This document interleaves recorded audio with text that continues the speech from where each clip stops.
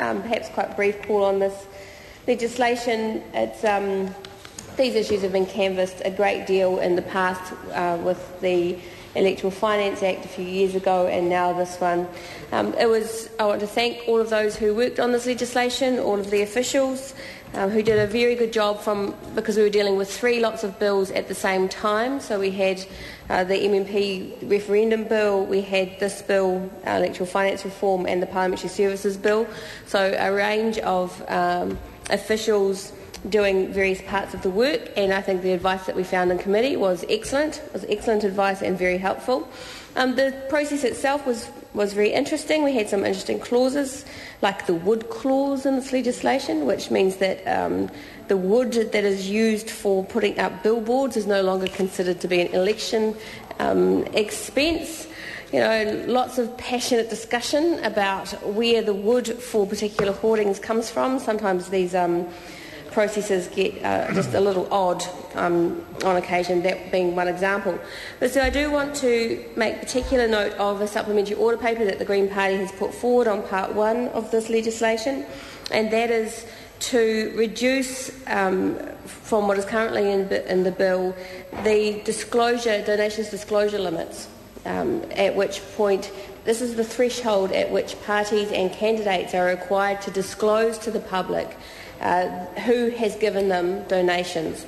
And in previous times, um, it was uh, $1,500 for a candidate. Um, if I remember rightly, I might have that wrong. It was, but this legislation, in any event, this legislation has reduced that threshold. So it is, or increased the threshold. So it is now um, easier for candidates and easier for political parties to hide the money uh, or to hide the source of the money that is donated to them for their election campaign. Now, the only argument that was put forward as to why this was necessary to make it easier for political parties to potentially engage in more corrupt practices, because frankly that's what that is, um, is because all the other limits, financial limits in the rest of the bill, like uh, the limit that a candidate could spend, for example, went up. And because everything else seemed to go up, why not put this one up as well? Now, of course, that is a, it is a ridiculous piece of logic. It's absolutely irrational. There's no, the purpose of having a low disclosure threshold for donations is so that the public knows who it is that is giving money to candidates and to political parties so they can assess whether or not there is some form of payback likely or possible in the party or candidate's policy should they be elected uh, to Parliament.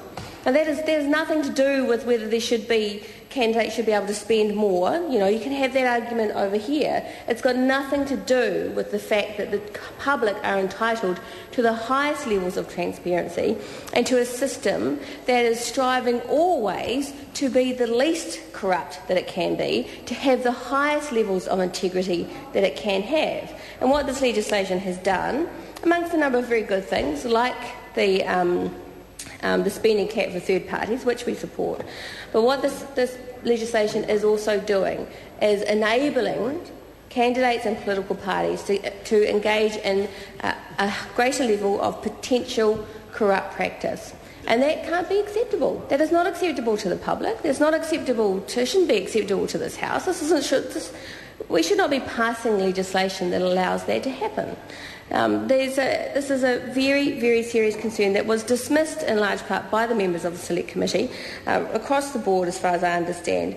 Um, particularly from um, ACT and, and National, because obviously they don't mind that we have a less transparent system. They don't mind that we have a system that has a great deal less integrity, um, particularly when it comes to transparency to the public about where political parties are getting their money from. Now, we've also seen recently the same issue being raised um, at local government level, and I know and my colleague Russell Norman has legislation that would uh, require um, the uh, same levels of disclosure at local body election level um, as is required for MPs and for parties, so that the public do know who donates money to local government, local body election campaigns and candidates.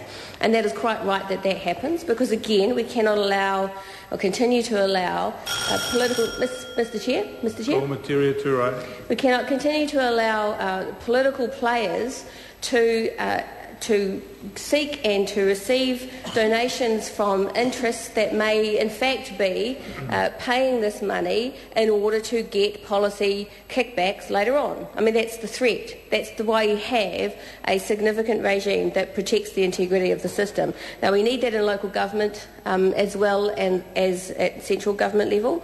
And as I say, the Green Party has a members' bill that would do that. And we hope that in time it comes up in the ballot and we can have that debate. But it makes it very difficult to be looking at making those changes at local government level when even at this level, um, in terms of uh, the general election, uh, the parties, um, some of the parties in this House are prepared uh, to allow this change to happen. So the Green Party is, uh, has put up in supplementary order paper uh, reducing the disclosure thresholds from $1,500 to $1,000 for a candidate and uh, from $15,000 to 1,000 for a party. And we sincerely hope that other political parties support this legislation, that they make a stand in favour of transparency, that they make a stand uh, to support honest politics, healthy politics, a situation where the public can continue to have faith in the integrity of our system because as members of parliament, as political parties, we continually seek to improve the integrity of the system. And unfortunately, fortunately, this legislation fails to do that. It erodes the integrity of the system. It erodes the, the faith and the trust that the public have in us, that we will, we will set the rules for how we operate and what benefits us in a way that preferably benefits them more. And that is not what we're doing with um, this, uh, this change that's in this legislation. So I sincerely hope and would ask that uh, MPs and parties from across the House would support the Green Party's supplementary order paper to uh, lower the disclosure thresholds for the transparency of donators to political parties and to candidates. Thank you. Members,